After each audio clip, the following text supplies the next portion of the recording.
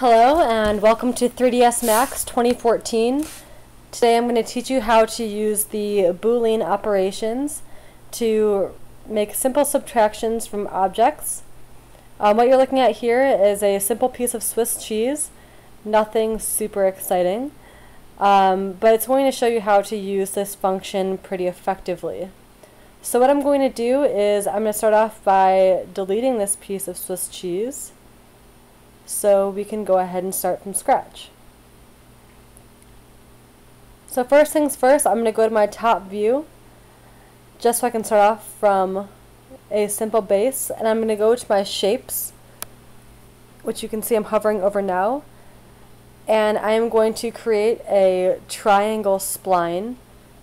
For this I like to turn on my snaps which is this little three magnet up here on the toolbar and create a straight line. Of course, doesn't have to be perfect. I've never seen any perfect pieces of cheese. Then I'm going to go to my Modify tab, and I am going to hit Extrude. And I'm going to extrude this piece of cheese about 50 inches. It's going to be rather large for this project, but I just wanted to show you big so you can get an idea of it. Again, you can adjust the parameters to whatever you'd like. So I'm just going to go ahead and minimize my viewports.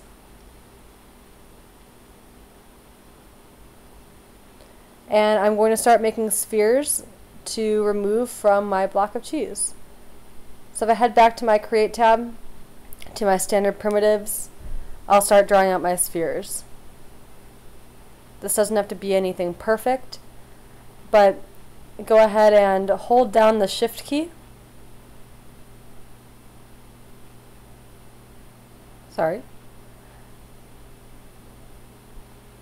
Go ahead and hold down the shift key and drag up on one of the axes if you want to make copies of the objects. You'll get a pop-up that says cloning options, copy instance or reference. I'll explain this in a later tutorial, so go ahead and just click copy.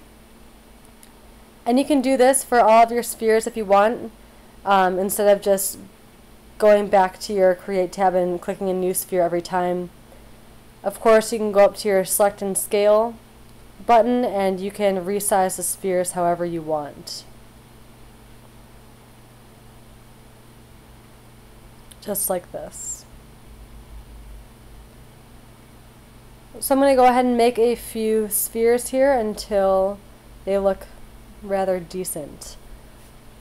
As you're doing this, just keep in mind um, that once you start the Boolean operations, you cannot go back and change the parameters of your shapes.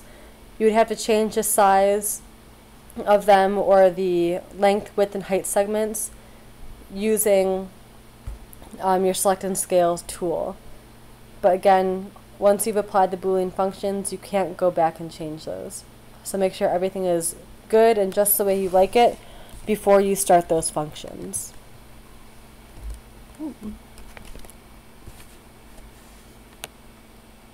Alright, so our cheese is looking pretty good here. I'm just going to go ahead and change the color so it's a little more cheese-like. Now what I like to do here is just round off the edges. This part is totally optional. But what I'm going to do is I'm going to right click on my object and convert it to an editable poly. This allows me to select different vertices and edges. Notice that once I select it, everything is active when it's highlighted in yellow. So I'm going to select each object of my cheese. Might have to just rotate your object a little bit so you can get all sides.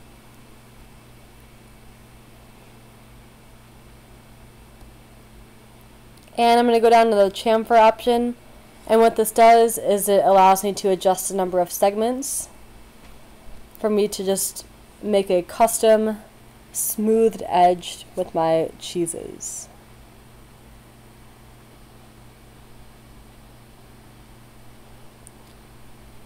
So right now it's at 1. If I increase this, it's going to be more dramatic. Um, if I add more segments right here, it's going to give you more of a rounded surface rather than just kind of like a blunt chiseled edge. So we'll increase this to 5 and that looks pretty okay for this demonstration. So click the check mark and you're good to go. Deselect edge so that is not active anymore and we can start the boolean function. So I'm going to go back to my create tab and go down to compound objects which is in the drop down menu from where you usually create your boxes and spheres. So the compound objects is the third one down. And you see Boolean and ProBoolean. ProBoolean allows you to remove multiple objects from a surface or from a 3D object. Boolean only allows you to remove one. Um, Boolean was there with the old version of Max.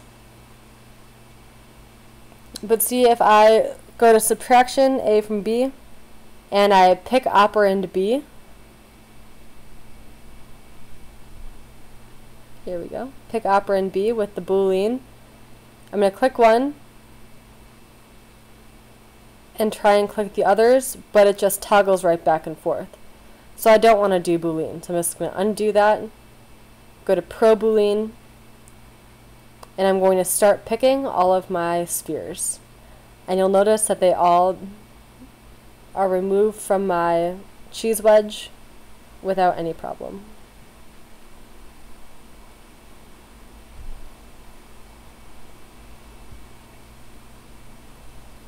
So go ahead and save this as your cheese project. Looks pretty nice. And I hope you learned something. If you have any questions, please leave them in the comment tab and I'll be sure to get to them. Thank you very much for watching.